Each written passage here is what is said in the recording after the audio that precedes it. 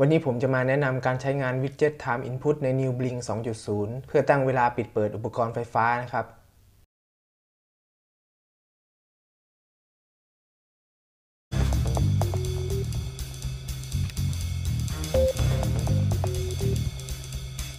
สวัสดีครับ พบกับผมในช่องจัก DIY นะครับ พอดีว่ามีคอมเมนต์ในคลิปคลิปหนึ่งของผมนะครับ ว่า New Blink เวอร์ชันไม่มี Widget Timer มีแค่ Time Input มีคลิปสอนทำหรือยังครับ ตอนนี้เท่าที่ผมหาข้อมูลมา Widget Timer ที่เราเอาไว้ใช้เป็นตัว trigger เพื่อปิดเปิดอุปกรณ์นั้นจะถูกแทนด้วยฟีเจอร์ที่เรียกว่า Automation นะครับ ผมยังไม่เคยลองเล่นนะครับ แต่เท่าที่อ่านดูเขาบอกว่า Automation เนี่ยจะเป็นฟีเจอร์ที่สร้างขึ้นมา เพื่อใช้งานแทนหลายๆ Widget ใน Blynk 1.0 เช่น Timer Bridge และ Eventor นะครับ เอาไว้ในคลิปต่อๆไป ผมจะมาทำวิธีการใช้งานฟีเจอร์ Automation ให้ดูกันนะครับ ในส่วนของวันนี้ผมจะมาพูดถึงการใช้งาน Widget Time Input ใน New Blynk 2.0 ซึ่งมีความแตกต่างจาก Blink 1.0 เล็กน้อยนะครับ คือในการตั้งเวลาปิดเปิดอุปกรณ์ต่างๆ ใน Blynk ตัวเก่า เราจะต้องดึง Widget ที่ชื่อว่า Real Time Clock มาใช้ควบคู่ไปกับ Widget Time Input หรือ Widget Timer ด้วยนะครับ เพื่อเอาไว้สำหรับให้อุปกรณ์ของเรา ในที่นี้คือ Node MCU ใช้ดึงค่าเวลา หรือ Real Time Clock จากเซิร์ฟเวอร์เพื่อให้ Node MCU รู้ว่าเวลาปัจจุบันตอนนี้เป็นเวลาเท่าไหร่ เพื่อที่จะได้ควบคุมการปิดเปิดอุปกรณ์ต่างๆ ได้ตรงตามเวลาที่ตั้งไว้ใน Widget Time Input นะครับ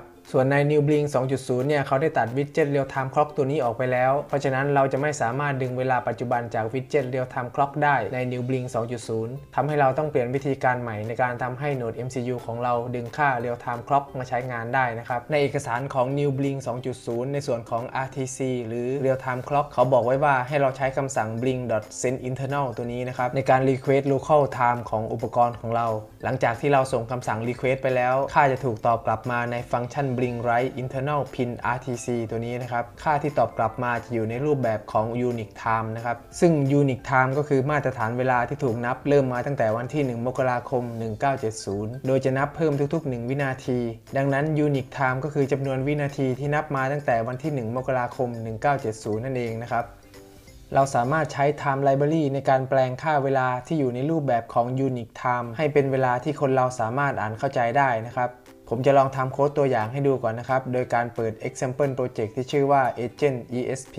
8266ขึ้นมานะครับสำหรับโปรเจกต์ Bring ผมจะไม่สร้างใหม่นะครับ แต่จะเอาโปรเจกต์เดิมที่เคยสร้างไว้ในคลิปก่อนหน้านี้มาแก้ไขต่อ มาถึงตรงนี้สำหรับใครที่ยังไม่เคยใช้งาน New Blink 2.0 มาก่อน ผมแนะนำให้กดเข้าไปดูคลิปก่อนหน้านี้ที่ผมเคยทำไว้ที่มุมขวาบนก่อนนะครับเพราะคลิปนั้นจะอธิบายตั้งแต่การสมัครใช้งานไปจนถึงการสร้างโปรเจกต์จนเสร็จ และสามารถใช้งานได้เลยนะครับเมื่อเปิด Example Project ขึ้นมาแล้วก็ให้เข้าไปที่หน้าเว็บ blink.cloud คลิกเลือก Template เลือกโปรเจกต์ของเรา Copy Template ID กับ Device Name มาวางแทนโค้ดใน 2 บรรทัดนี้ก่อนนะครับ จากนั้นก็ include time library เข้ามา เพื่อให้เราเรียกใช้งานฟังก์ชันของ time library ได้นะครับ ต่อมาก็ต้องสร้าง object ของ timer นะครับ ในฟังก์ชัน setup ผมก็เปิดใช้งาน timer interval ในการเรียกฟังก์ชัน check time ทุก ๆ 10 วินาทีนะครับ ก็คือทุก ๆ 10 วินาที โปรแกรมจะวิ่งเข้ามาทำงานในฟังก์ชัน check time ตัวนี้ ซึ่งผมก็วางคำสั่งในการ request real time clock เอาไว้แบบนี้นะครับ ถ้าทุกอย่างทำงานอย่างถูกต้อง Node MCU ของผมจะมีการอัปเดตเวลา real time clock ทุก ๆ 10 วินาทีนะครับในฟังก์ชัน Setup ผมก็จะเซต pin mode ของขา D0 และ D1 ให้เป็น Output เพื่อเอาไว้สำหรับสั่งปิดเปิดอุปกรณ์ของผมนะครับ ส่วนในฟังก์ชัน Loop ก็จะมีการเรียกใช้งาน timer.run แบบนี้ด้วยนะครับ ในส่วนของ Blynk Connect ตัวนี้จะถูกเรียกเมื่อ Node MCU ของเราเชื่อมต่อกับเซิร์ฟเวอร์ได้สำเร็จ ผมก็จะวางคำสั่งในการ Request Real Time Clock ไว้ด้วยนะครับ เพื่อให้ Node MCU ได้รับการอัปเดตเวลาปัจจุบันในทันทีที่เชื่อมต่อกับเซิร์ฟเวอร์ได้สำเร็จ จากนั้นค่อยทำการอัปเดตทุก ๆ 10 วินาทีนะครับ จากนั้นผมก็วางโค้ด Blynk write internal pin RTC เพื่อเอาไว้รับค่าเวลาที่ตอบกลับมาจากเซิร์ฟเวอร์ อย่างที่ผมบอกไปนะครับว่าเวลาที่ตอบกลับมาจะอยู่ในรูปแบบของ unique time ทำให้ต้องใช้ time library ในการแปลงข้อมูลให้อยู่ในรูปแบบของเวลาที่คนเราอ่านเข้าใจได้ตามนี้นะครับ โค้ดตรงนี้ผมวางคำสั่ง serial print ไว้เพื่อให้ Node MCU ส่งข้อความออกไปแสดงที่หน้า serial monitor ตามนี้นะครับ บรรทัดแรกจะเป็นการปริ้นค่า unique time ที่ได้รับมา บรรทัดถัดไปจะเป็นการปริ้นข้อความว่า RTC server แล้วตามด้วยชั่วโมง นาที และวินาทีนะครับส่วนบรรทัดสุดท้ายจะปริ้นข้อความว่า day of week แล้วตามด้วยตัวเลขของ day of week ซึ่งจะแทนค่าวันต่างๆ ในสัปดาห์เป็นตัวเลข 1 จนถึง 7 นะครับ เสร็จแล้วผมขอ Save As นะครับ เพื่อเซฟโปรเจกต์นี้ไว้ในเครื่อง แทนที่การเซฟทับ example project ที่มากับไลบรารีของ Blynk นะครับ ผมตั้งชื่อโฟลเดอร์ว่า new Blynk timer แล้วก็เซฟนะครับ จากนั้นก็กดปุ่ม Verify เพื่อดูว่ามี Error หรือเปล่า เมื่อไม่มี Error ก็เสียบสาย USB จากโหนด MCU เข้ากับคอมพิวเตอร์แล้วก็อัปโหลดได้เลยนะครับ เมื่ออัปโหลดเสร็จแล้วให้คลิกเปิดหน้าต่าง Serial Monitor ขึ้นมา ตรงช่อง baud rate ให้ปรับเป็น 115200 ด้วยนะครับ จะเห็นว่าตอนนี้โหนด MCU ส่งข้อความออกมา บรรทัดแรกเป็นเวลาในรูปแบบของ Unix Time บรรทัดที่ 2 เป็นเวลาในรูปแบบของชั่วโมง นาที และวินาที ซึ่งตอนนี้เป็นเวลา 2 ทุ่ม 8 นาที 48 วินาทีนะครับ ส่วนบรรทัดสุดท้าย Day of Week มีค่าเป็น 3 คือวันอังคาร ซึ่งเป็นวันที่ผมอัดคลิปอยู่นี้นะครับ อีก 10 วินาทีต่อมาโหนด MCU ก็อัปเดตเวลาและส่งข้อความออกมาทางหน้าต่าง Serial Monitor อีกแบบนี้นะครับ เท่ากับว่าในตอนนี้เราสามารถทำให้โหนด MCU ซิงเวลาปัจจุบันได้แล้วใน New Blink นะครับ ต่อไปผมจะสาธิตการใช้งานร่วมกับ Widget Time Input เพื่อตั้งเวลาปิดเปิดอุปกรณ์นะครับ ก่อนอื่นก็ต้องเปิดหน้าเว็บ blynk.cloud ขึ้นมา แล้วก็ล็อกอินด้วยบัญชีของเราเข้าไป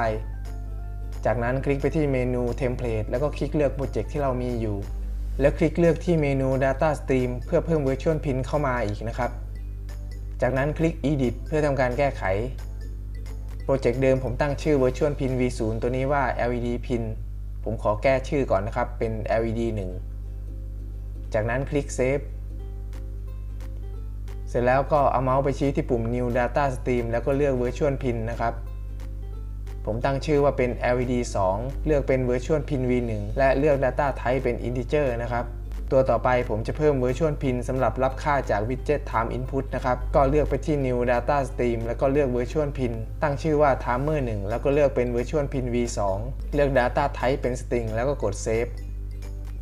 จากนั้นก็เพิ่ม Virtual Pin อีก 1 ตัวสำหรับ Timer 2 นะครับ เสร็จเรียบร้อยแล้วก็กด Save แล้วก็เลือกอัปเดต1 Active Device เพื่อเป็นการอัปเดตสิ่งที่เราแก้ไขไปเมื่อสักครู่นี้ไปที่อุปกรณ์ของเราที่กำลังใช้งานอยู่ในตอนนี้นะครับ ต่อไปจะเป็นการแก้ไขแอป Blink เพื่อให้รองรับการตั้งเวลาปิดเปิดนะครับ ก็ให้เปิดแอป Blink IoT ขึ้นมา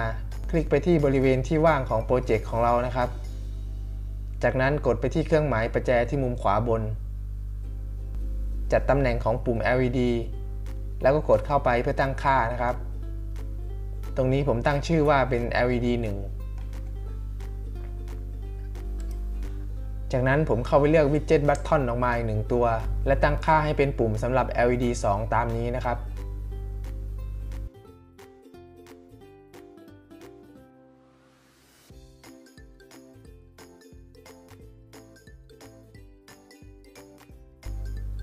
ต่อไปก็เข้าไปเลือก Widget Time Input ออกมานะครับ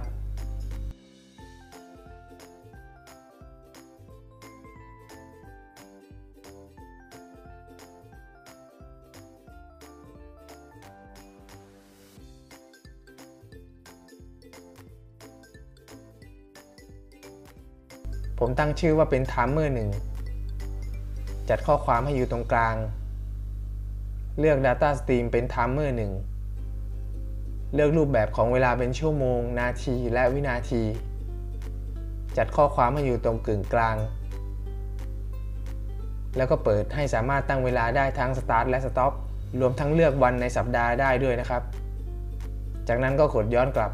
สำหรับ Widget Time Input ของ Timer 2 ผมจะ Copy จากของ Timer 1 แล้วเข้าไปตั้งค่าให้เป็นของ Timer 2 แบบนี้นะครับ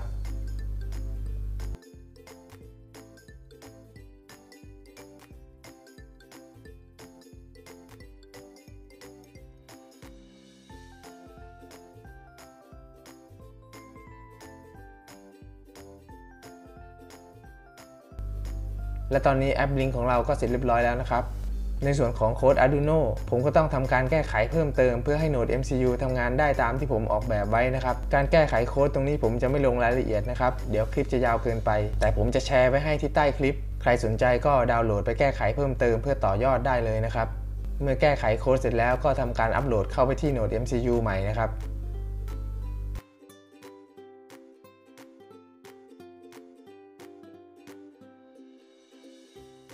ในส่วนของการต่อวงจร ผมจะสาธิตง่ายๆ ด้วยการใช้หลอด LED ต่อที่ขา D0 และ D1 เพื่อดูสถานะของขาทั้งสองนะครับ ส่วนใครที่มีความรู้ทางด้านไฟฟ้าอิเล็กทรอนิกส์ก็สามารถต่อ output จากขา D0 และ D1 ออกไป เข้าวงจรขับโหลดที่มีกำลังมากขึ้น เช่นรีเลย์หรือ Magnetic Contactor เพื่อใช้ในการปิดเปิดหลอดไฟ พัดลม หรือปั๊มน้ำได้เลยนะครับ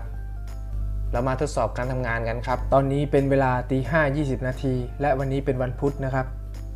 ขั้นแรกผมลองกดไปที่วิดเจ็ตบัตทอนเพื่อสั่งงานเปิดปิด LED ก่อน ก็สามารถสั่งงานได้ตามปกตินะครับ ต่อไปผมจะตั้งเวลาเปิด LED 1 โดยตั้งเวลาให้ LED 1ออนในวันพุธ เวลาตี5 22 นาทีถึงตี5 24 นาทีนะครับส่วน LED 2 ผมจะตั้งเวลาให้ออนทุกวัน เวลาตี5 23 นาทีถึงตี5 24 นาทีแบบนี้นะครับ ตอนนี้เป็นเวลาตี5 22 นาที LED 1 ก็ติดขึ้นมาแล้วนะครับ ผมลองกดบัตทอนของ LED 1 เพื่อสั่งให้ LED 1ออฟไป จะเห็นว่า LED 1 ไม่ออฟนะครับ และสถานะของบัตทอนก็ถูกอัปเดตกลับไปเป็นออนเหมือนเดิม อันนี้ก็เป็นเพราะว่าผมได้เขียนโปรแกรมไว้ว่าถ้า LED 1ทำงานในช่วงเวลาที่ตั้งไว้ จะไม่รับคำสั่งจากปุ่มกดนะครับถ้าผมลองกดบัตทอนของ LED 2 ก็จะสั่งงานได้ตามปกติ เพราะตอนนี้ยังไม่ถึงเวลาที่ LED 2 จะทำงานนะครับ ตอนนี้เป็นเวลาตี5 23นาที LED 2 ก็ออนขึ้นมานะครับ ผมลองกดบัตทอนเพื่อสั่งงานให้ LED 2 off ตอนนี้จะไม่สามารถสั่งงานได้แล้วนะครับ ตอนนี้ก็เป็นเวลาตี5 24นาที LED ทั้ง 2 ตัวก็ดับไป และสถานะของบัตทอนทั้ง 2 ก็อัปเดตเป็น off ตามนะครับ และตอนนี้ผมก็กลับมาสั่งงาน LED ทั้ง 2 ตัวได้ตามปกติแล้วนะครับ ผมก็หวังว่าคลิปนี้จะเป็นประโยชน์ให้กับผู้ที่สนใจที่จะใช้ Widget Time Input ใน New Blink 2.0 นะครับสำหรับคลิปนี้ผมก็ขอจบไปเพียงเท่านี้ ฝากกดไลค์ กดแชร์ กดติดตามเพื่อเป็นกำลังใจด้วยนะครับ สวัสดีครับ